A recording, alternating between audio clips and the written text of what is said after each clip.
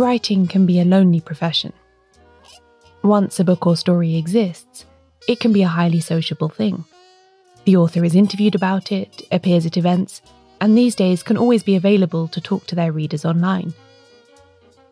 But the period of creation is one of solitude.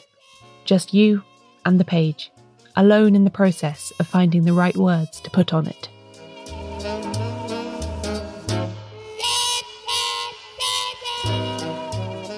In the late 1920s, one writer of detective fiction was feeling this aloneness acutely.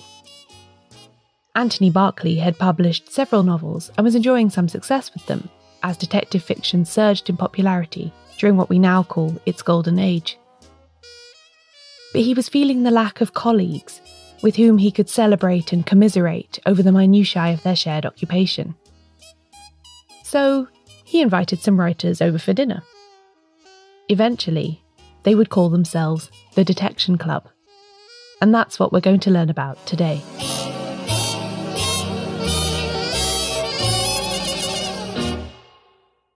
Welcome to Shedunnit. I'm Caroline Crampton.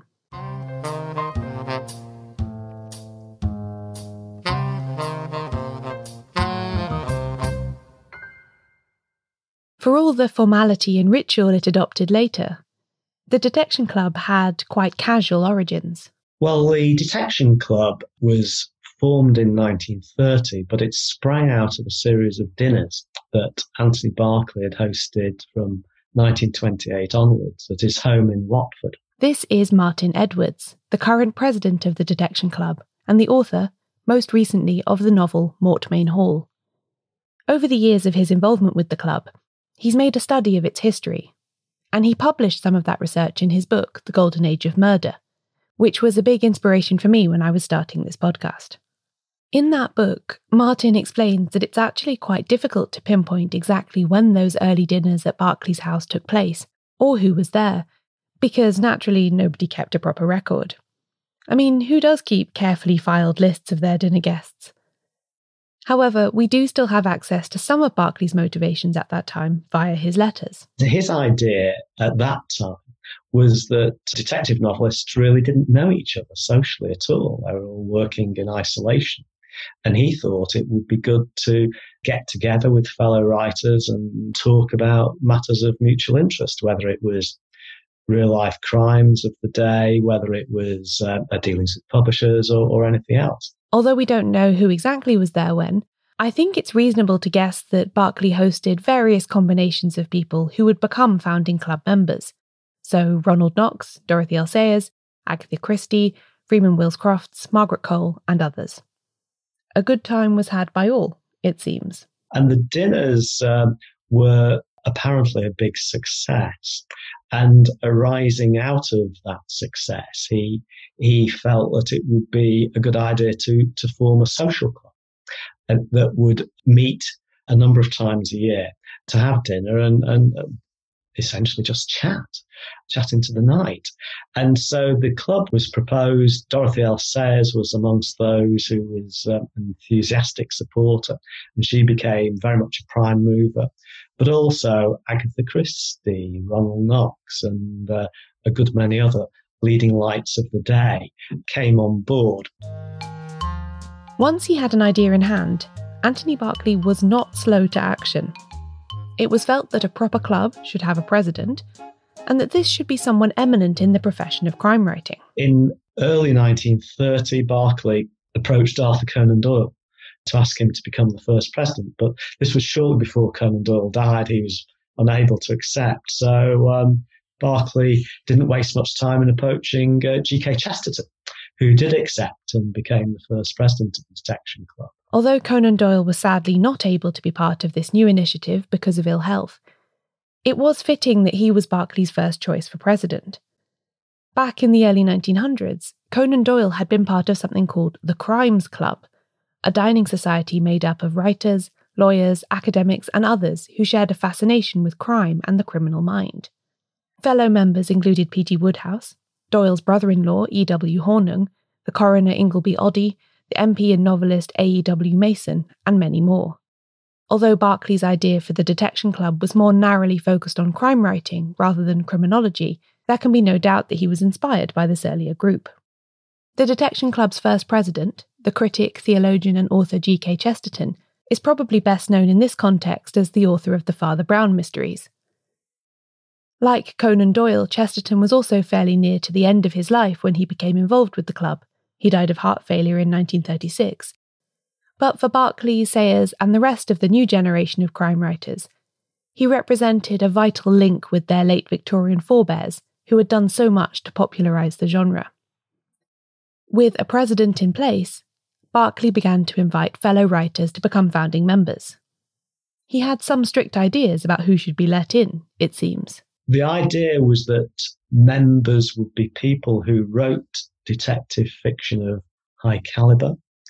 They would uh, have produced at least two such books, and they would be elected by secret ballot by the existing members. So it, it was a, a a self-selecting elite, if you like. Thriller writers were not allowed in. The uh, theory was that the standards of detective fiction were to be elevated in practice, of course, many of the early members were people that Berkeley had got to know during those early dinners. Dorothy L. Sayers was very involved in the initial organisation and became an enthusiastic founder member when the club began in earnest in 1930.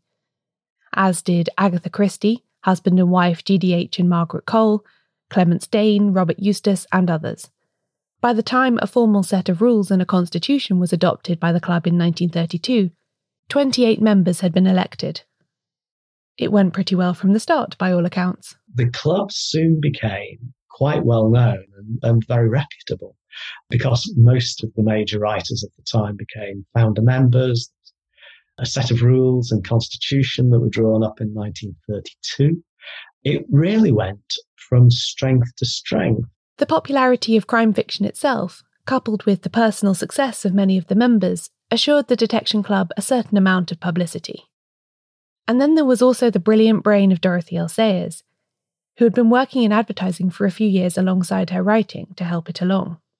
For instance, as Martin explains in The Golden Age of Murder, when Arthur Conan Doyle died on the 7th of July 1930, Sayers saw the chance for a bit of press and quickly sent a card in tribute from the whole of the Detection Club.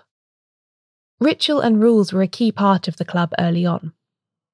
I talked about this a bit more in the ninth episode of the podcast, The Rules, the club's constitution included a set of rules about who could join, how disagreements would be settled, and what kind of writing the club existed to encourage.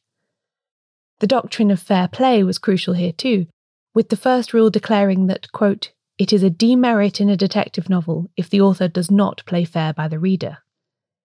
This was an idea that had grown out of the puzzle craze after the First World War, and in a whodunit came to mean that the writer constructed the story in such a way that it was possible for the reader to work out the solution for themselves, no clues withheld. The rules also prohibited members who produced adventure stories or thrillers, or stories in which the detection is not a main interest. Anthony Berkeley didn't bring together these writers so that they could write, necessarily. It really does seem that what he was intending was something in the style of the Crimes Club, a dining society and social club essentially, or at most a kind of professional talking shop or association.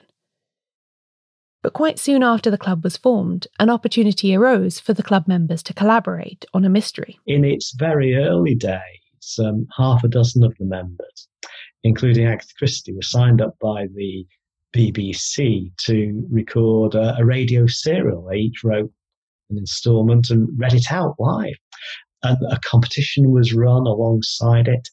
And that was a huge success. That was a story called Behind the Screen. And if you read it now, it's, it's not the best detective story, but, but it was enormously popular. And they were then asked to write a, a second. This was called The Scoop. And that, that was a good detective story. Dorothy L. Sayers took the lead with that.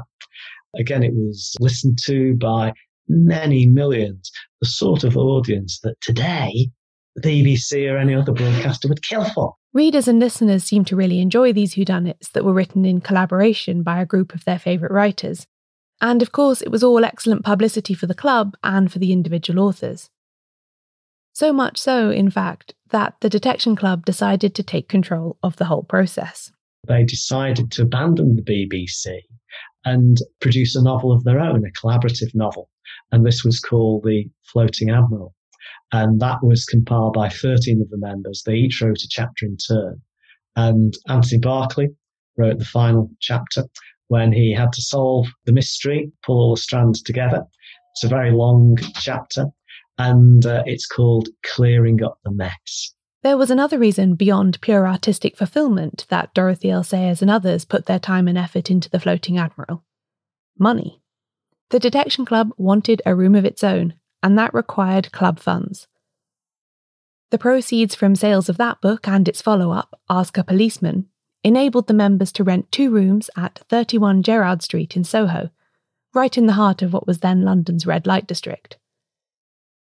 Members gathered often, enjoying the local bars and restaurants before staggering back to their clubhouse to debate methods of murder over a nightcap. I think whenever I've imagined the Detection Club's heyday, it's this time in the early 1930s that I've thought of, when the popularity of the Golden Age style was high and these collaborative books were paying for its foremost practitioners to have a good time. The question is, though, how long could it last? And after the break, we'll find out.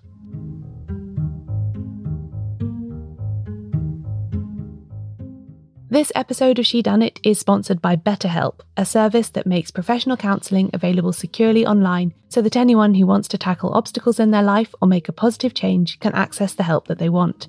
A lot of us aren't exactly working a conventional 9 to 5 right now, and BetterHelp makes it really easy to get access to a licensed therapist in a way that suits you.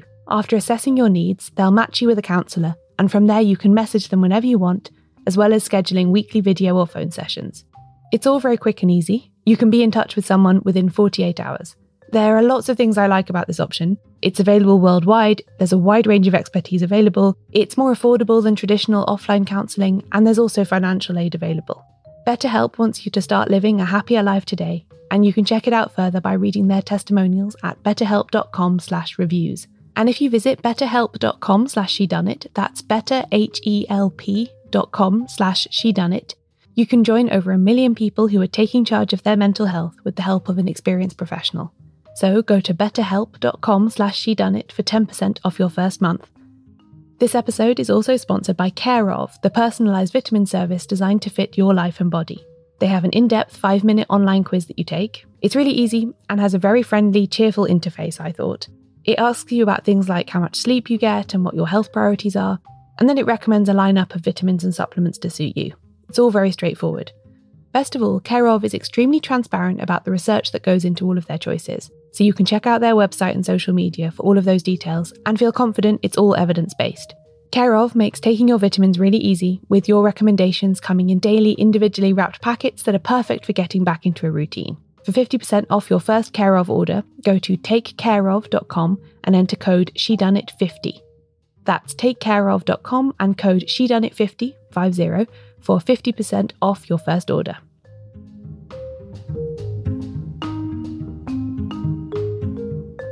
Inevitably, the golden age of detective fiction couldn't last forever. I haven't actually talked much about this on the podcast so far, focusing instead on how the period and the style came into being rather than how it fizzled out.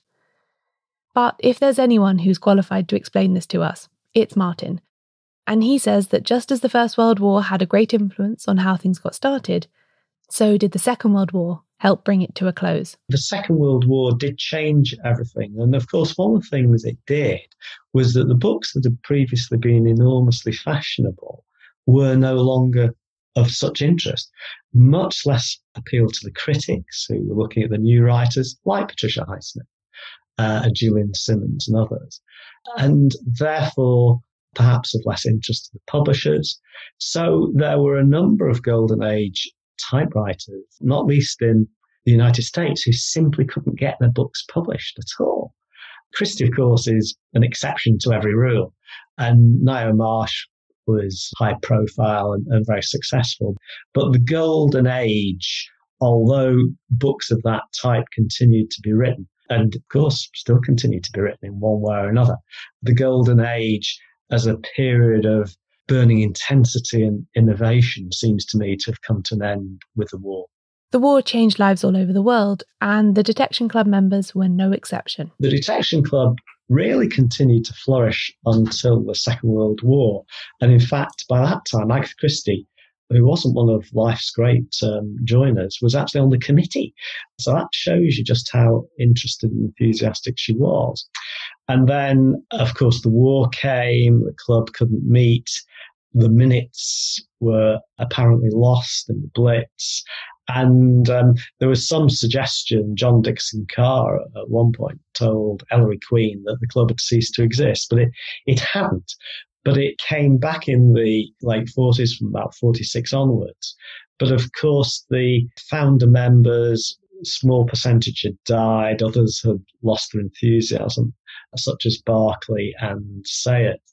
So more members were brought in. As Martin says, the war also marked a shift in the careers of two of the most enthusiastic original members, Anthony Berkeley and Dorothy L. Sayers.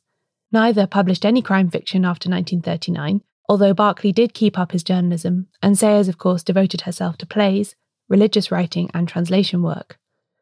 For them, perhaps, the Detection Club had served its purpose. But there were still crime writers. So, what role could it play in their work? the club as a whole had a lower profile for a long time. And, and it really continued, although books were very occasionally published, it really continued to fly below the radar and operate just as a social club. But Agatha Christie took over as president after Sayers died in the late 50s, and she remained president until her death and, uh, and was a very loyal adherent of the club. After her, there was Julian Symons, and after him, uh, Harry Keating. So it remained a club which stuck to the basic idea of uh, members by election and a relatively small membership because, after all, it's a dining club. The club's fortunes were very closely tied to the style of writing that its founding members had stood for. And so, as the public's interest turned away from intricate puzzle based whodunits and towards more psychological stories, police procedurals, and the like, the club too fell out of the spotlight somewhat. In an attempt to recognise the changing times, the ban on thriller writers joining was lifted in the 1950s. I was really keen to hear from Martin about his own experience with the Detection Club. After all, it's not exactly something that you can apply to join. So, how does a contemporary crime writer get to be a member and eventually president? Well, I was invited as a guest a, a very long time ago by um, Robert Barnard, who's a very good friend of mine, and uh, one of those older writers who was to some extent a, a mentor. Uh, and someone who gave me a lot of encouragement, helped me to get early short stories published and things like that. And he invited me along to the Savoy. That was that was in the nineties, and then um, somewhat out of the blue, as these things ha- happen, I, I, I, got a letter when I got home from work one day from Simon Brett, the president, telling me I'd, I'd been elected. First I was aware of it, of course. And so that was in 2008, and I was um, elected and uh, inducted on the same night as um, another good friend of mine, Ann Cleeves. So, um, so we joined together and um, have been members ever since.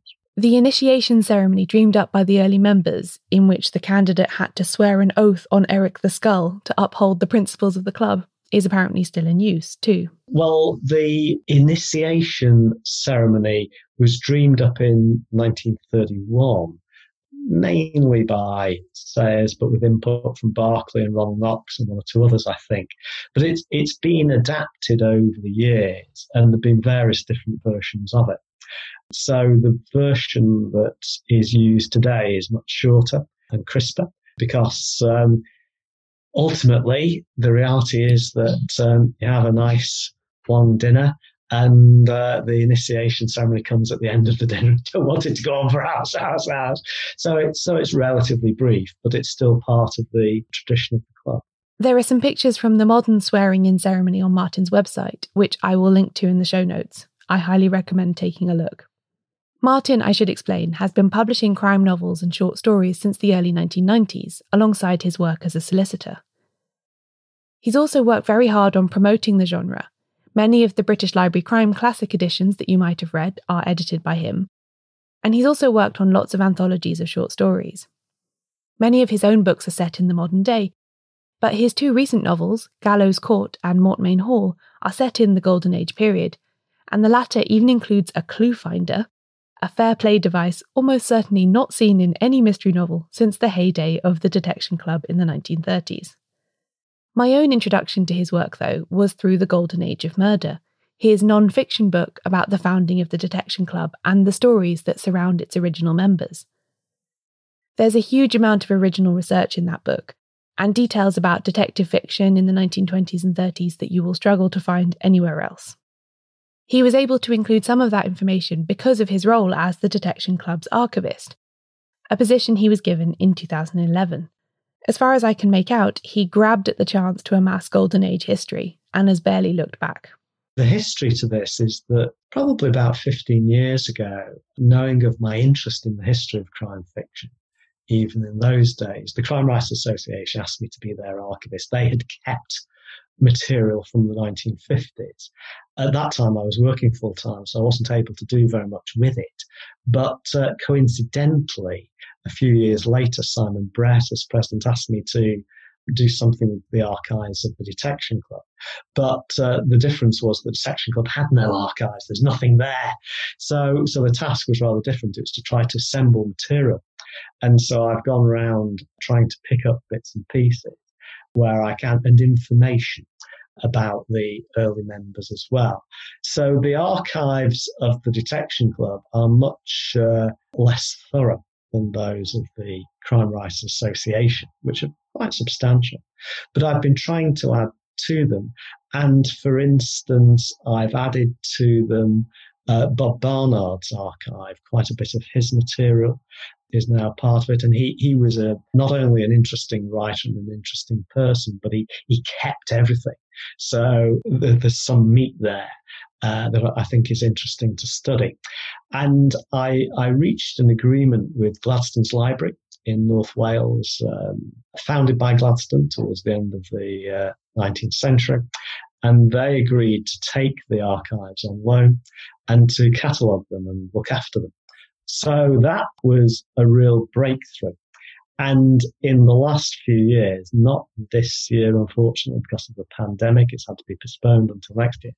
But for the last few years, we've had a weekend in June called Alibis in the Archive, where writers have given talks. Members of the public have not only been able to come along and indeed stay because you can stay in the library. It's got, got uh, very nicely appointed rooms, great place to stay.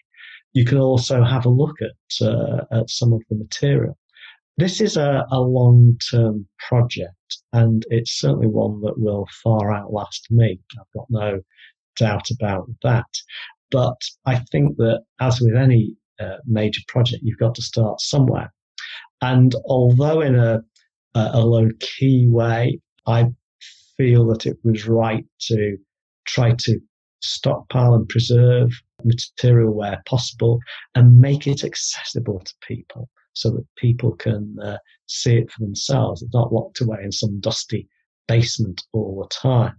And so my, my hope is that as interest in the heritage of crime fiction develops, so interest in the archives will increase. The Modern Day Detection Club is also still publishing collaborative novels.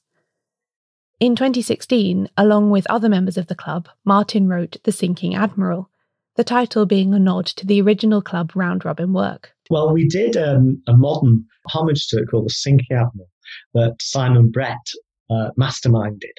And I, I, wrote one chapter of that. But um, uh, when we'd written most of it, he organised a dinner which was called the Who Done It dinner, when uh, we all sat around the table and um, figured out who the murderer would be and selected the unfortunate uh, person who'd write the final chapter, which thankfully wasn't me. It didn't work quite the same way, though. Unlike in The Floating Admiral, where each chapter was written and signed by a different author, in The Sinking Admiral, you have to work it out for yourself. That was a little game so that uh, the challenge to the reader is to see if you can figure out who wrote who wrote which. The Detection Club does non fiction too. In 1936, they published a book called The Anatomy of Murder, which features essays by Sayers, Berkeley, Freeman Wills Crofts, and others about real life murder cases. And later this year, an anthology of writing by members past and present will appear under the title of Howdunit. This book called Howdunit, and that's the Detection Club's new book about the art and craft of crime writing. And it, it's predominantly uh, present day members, but there are also 20 odd members from the past. Uh, with their thoughts on different aspects of the process, and um, that's something that um, was was great fun to put together. Uh, it was it was quite quite a demanding job as it turned out because uh, I, I, I envisaged 15 or 20 pieces really rather than 90 but um, but it, it, was worth it because it is it is a book I found really interesting to work on.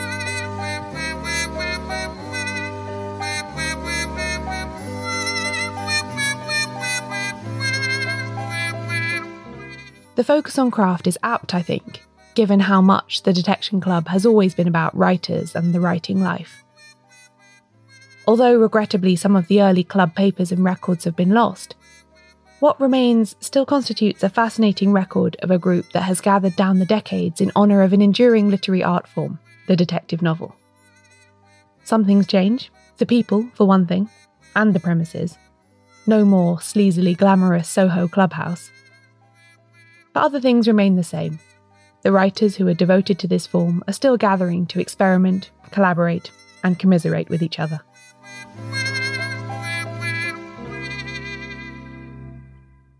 And Eric the Skull, of course. He never changes.